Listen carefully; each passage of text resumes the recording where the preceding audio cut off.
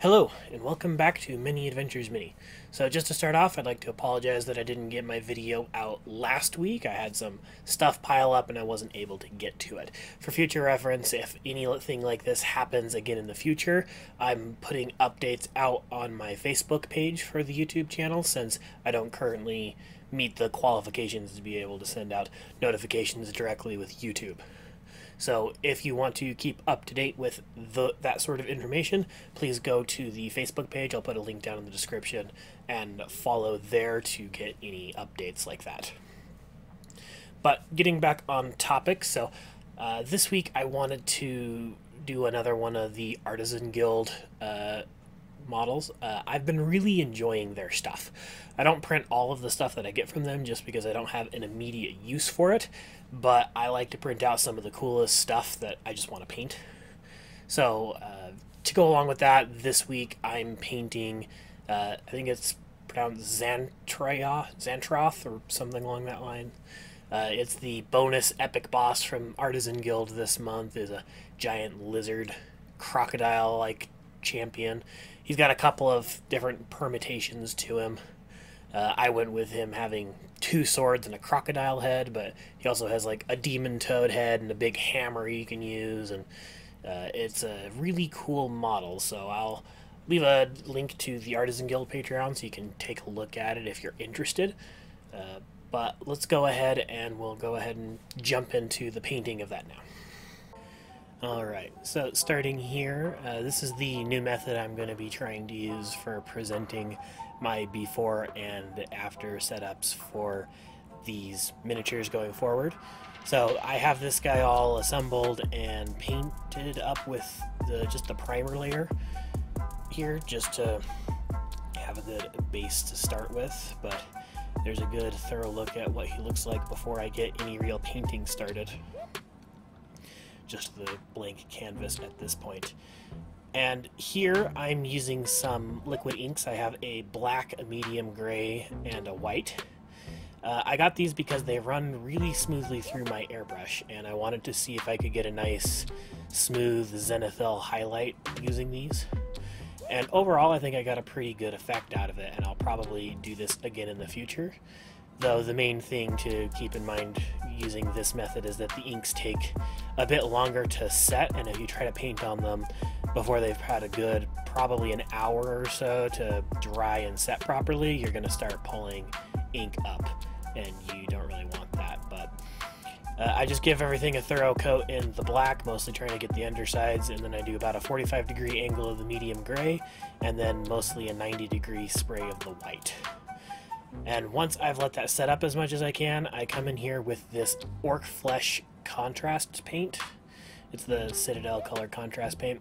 Uh, I, I haven't messed too much with contrast paint in the past, but I've been wanting to experiment more with it, and I thought this model looked like it might be a good test case to see if it would work under these circumstances. So I did the Zenithal undercoat to try and take advantage of uh, the, the different properties that you get with contrast paint over normal paints.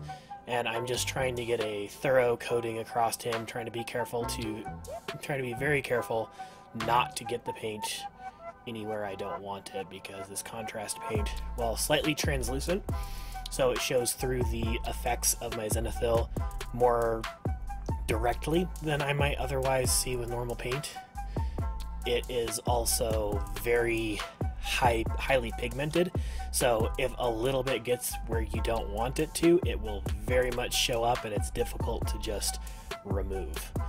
So you can see I'm trying to be uh, a bit meticulous and I'm trying not to get too much on there since I don't want it to be sitting too thickly. And I just go around and give everything a nice coat. And this was a reasonable way of getting this done quickly. I don't think this is like the fastest way to do this. I probably could have done this more easily, like a different method. Uh, I, I, for this particular one, just getting like the whole body with this green, this is a technique that I might use if I'm trying to get a lot of guys done or something, or if I just got a small part that I want to hit on. So I, I'm doing the same thing here. I'm throwing some red contrast onto his uh, loincloth there, and I'm using this skeleton horde. Uh, bone-based one on his uh, back spikes here. And I actually really do like this one because it kind of gets me the same effect I usually get just by doing my skeleton bone color with the uh, wash that I normally do. And this is all in one step, so th that's something I might just do by itself in the future is just throw on that skeleton horde instead of doing my two-step wash because it seems to work a bit better to me. And then I'm going with uh, the black contrast on these swords. To me, they kind of look like some sort of obsidian stone swords. Uh, somewhat primitive, but not completely so. That's the effect I'm getting from him. This entire lizard set that this guy is uh, kind of related to has kind of a aztec feeling going on. Uh, you can see I'm applying a little bit more of the uh, skeleton bone color to these different uh, spikes and whatnot coming off of here.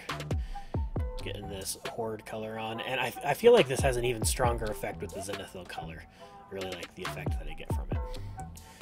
But I'm um, done with the contrast paints for now. I'm coming in with my Army Painter Greedy Gold color.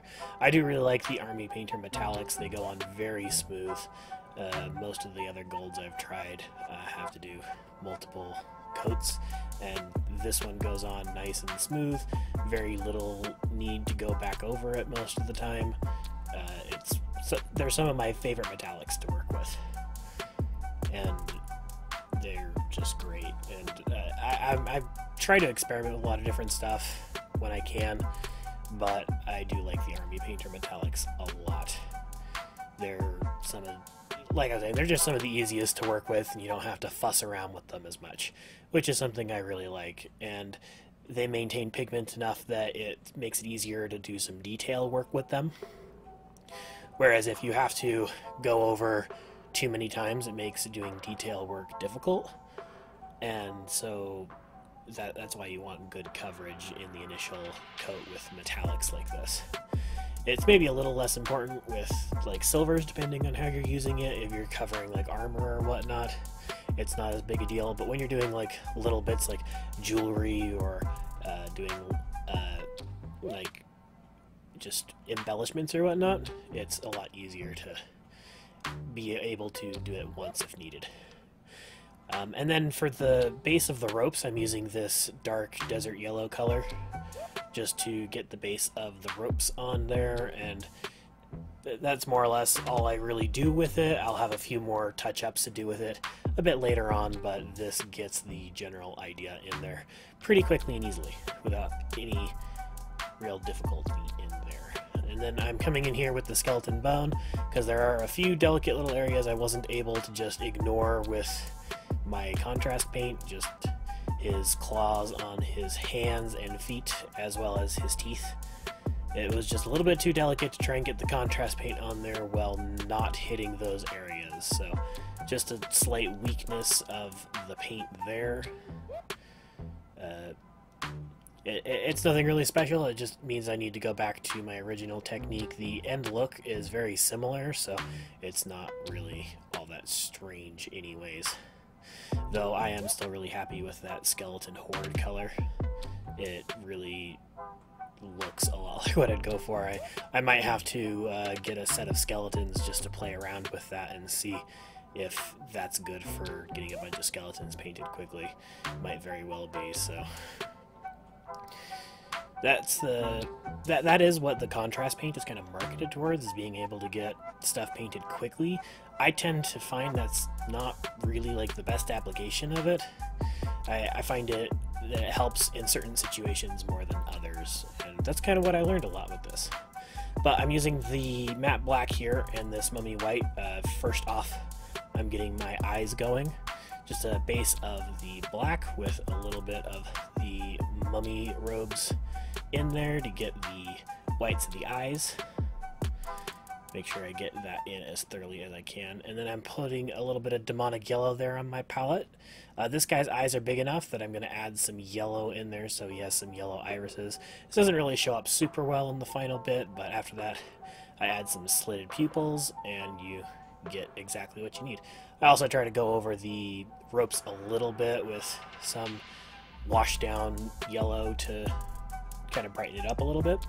And then I come to the raised ridges with some watered down demonic yellow just to get a little bit of a glaze effect. And I'm just going over some individual scales and some raised areas to add a little bit of a highlighting effect since the contrast paint ends up being really dark and to add a little bit of color variation and tint the sky more towards a yellow green rather than just a dark green and I think that had a better effect overall and gives better contrast between the upper brighter side of the model and the underside that I left pretty much alone after I had it with the black from the Zenithal and then just the green contrast paint put over it. So you can tell that it's a dark green and it's in shadow and you get some nice contrast there which you'll be able to see here towards the end but this is a little bit of a tedious process. You're just going over the same scales over and over until you get the opacity of the color you're tinting here. Doing just a little bit of, this is what we call glazing. And, and maybe finding any areas that I might have missed, like these ropes around his wrist, making sure I get the right colors in where they're supposed to be. Just going around getting everything. Uh, here I have some colored inks as well. Uh, I thinned this down a little bit just to try and see if I could make a pseudo wash just to go in the crevices on this uh, the, in the design on this sword here. And it didn't quite work the way I was hoping it would. It ended up just kind of tinting the entire thing a red color and I kept trying to get the effect I was going for, and it was just turning the whole thing red. So eventually, I just go for it and pretty much uh, soak the insides of those swords with red. Uh, and I'm going for almost kind of like a arid, swampy area. It, it, more more like arid, less swamp, but just like some arid plains with a bit of grass on here. So I throw that desert yellow down uh, put my black around the edge of the base just to get it all nice and cleaned up the way I like. Make sure everything's nice and neat. Get my rocks done. Uh, get some uh, skeleton bone on these skulls here as well. Just trying to get all of my colors in very basically. Make sure everything's the way I like it. Then I'm coming in with my burnt umber wash and I'm just touching on all the areas I put the bone color before. Just trying to get it all to the right shade and stain it a little bit, have it match the spikes on his back, at least to some degree here.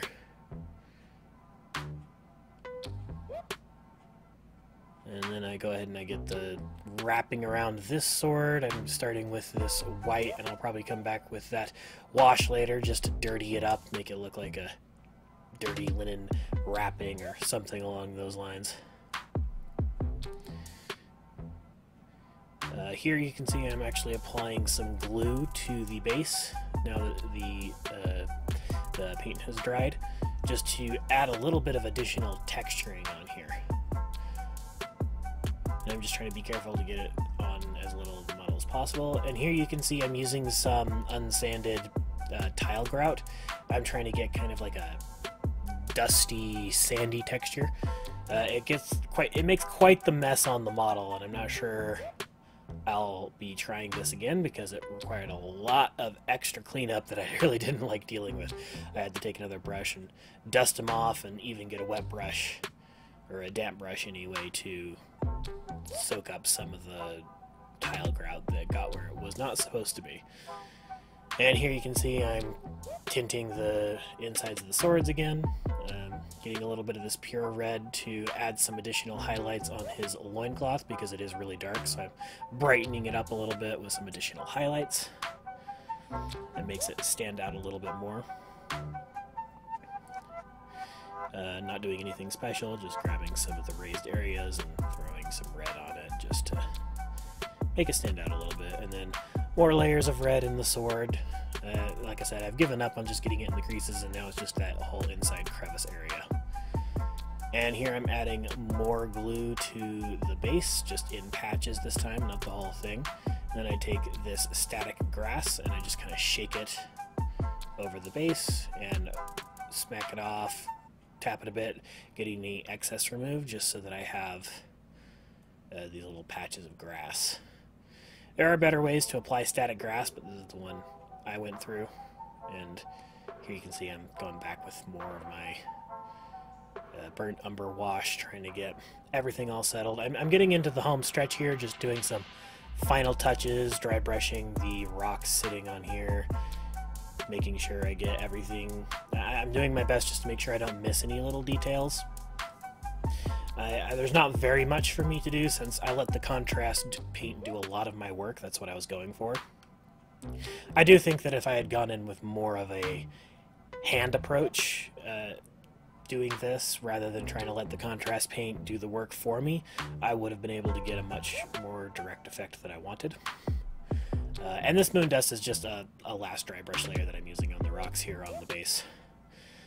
But after this, I've decided I've gotten to the best point I'm going to be able to get it, so I use my last step to put my matte varnish through my airbrush, cover everything as thoroughly as possible, especially the base since I had some of that loose powder, trying to make sure that is all thoroughly covered and soaked down so it sets properly and give everything a thorough coating.